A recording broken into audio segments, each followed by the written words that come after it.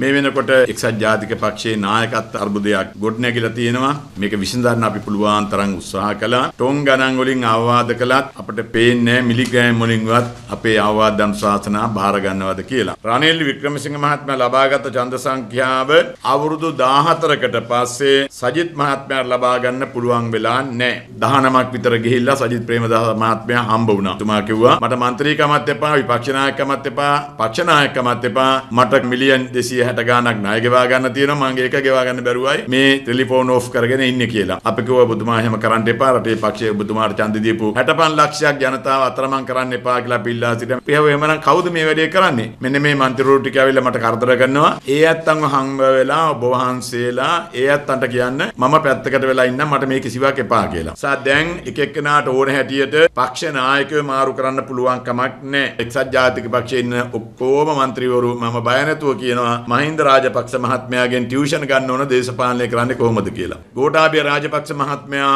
ඇතුළු ආණ්ඩුව කරන හොඳ වැඩ අපිත් අනුමත කරනවා. සියලු දේටම විරුද්ධ වෙන්න අපේක්ෂා කරන්නේ ජනාධිපතිවරණයට අවශ්‍ය සාකච්ඡා කළාම කරුජයසූරි මහත්තයයි සජිත් මහත්තයයි කතා කළ සජිත් මහත්තයව දුන්නත් නොදුන්නත් තරම් කරනවා. ඒක ප්‍රජාතන්ත්‍රවාදයට නොගැලපේ. පස්සේ කරුජයසූරි මහත්තයා වය වෘද්ධ ගුණ වෘද්ධ සත්පුරුෂ මිනිස්සෙක් වශයෙන් යාකුව ආයෙනම් ඔයා මේ තරම් කරා. මොනවද ඔයාලට තියෙන ප්‍රශ්න? මට මුකුත් ප්‍රශ්න නැහැ. මුදල් තියෙන මුදලුත් තියෙනවා. අපි ගෙදරට හම්බෙන්න ගියාම අපිට කොහොම මම නායකාරී. මගේ කකුල් දෙක දනපොල් කටු දෙකේ ආබාධයක් තියෙනවා පණ නැහැ කිව්වා. මම මුකුත් බාර ගන්න නැහැ කිව්වා. ඊට පහුවෙන්ද මෙතෙන්දී ගරු අගමැතිතුමා කතා කරලා විපක්ෂ නායකව බාරගත්තා. යෝගී අපි දකිනවා විශේෂයෙන්ම මේ සජිත් ප්‍රේමදාස මැතිතුම මධ්‍යම පන්ති ඡන්ද හම්බුණාද? උගතුන් බුද්ධිමතුන් ඡන්දේ දුන්නාද? අපි හිතවත්කමට උදව් උපකාර කළා. නමුත් රටේ මිනිස්සු බුද්ධිමත් තීරණ ගන්නවා. ඒ තීරණේ වැරදි කියලා අපිට කියන්න බෑ.